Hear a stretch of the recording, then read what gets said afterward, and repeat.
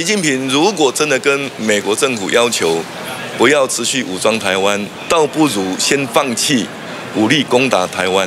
喊话对岸，就是因为拜习会登场。北京官媒报道，习近平会中强调，美方应该将不支持台独的表态体现在具体行动上，停止武装台湾，支持中国和平统一。同时，外媒也提到，根据白宫官员转述，习近平点出，美国方面有报道指中共打算二零二七年或二零三五年动武，根本没人跟他说过这件事。要贺主。提升我们自我防卫能力，加强国防经费。同时，为了要降低风险，必须重启对话跟交流。戴清德近半回应，这就代表国民党、民众党操弄的战争谎言，惨遭习近平狠狠打脸。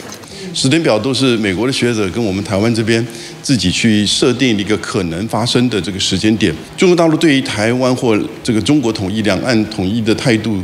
是很坚定的，在这一次跟拜登的时候讲得非常的清楚。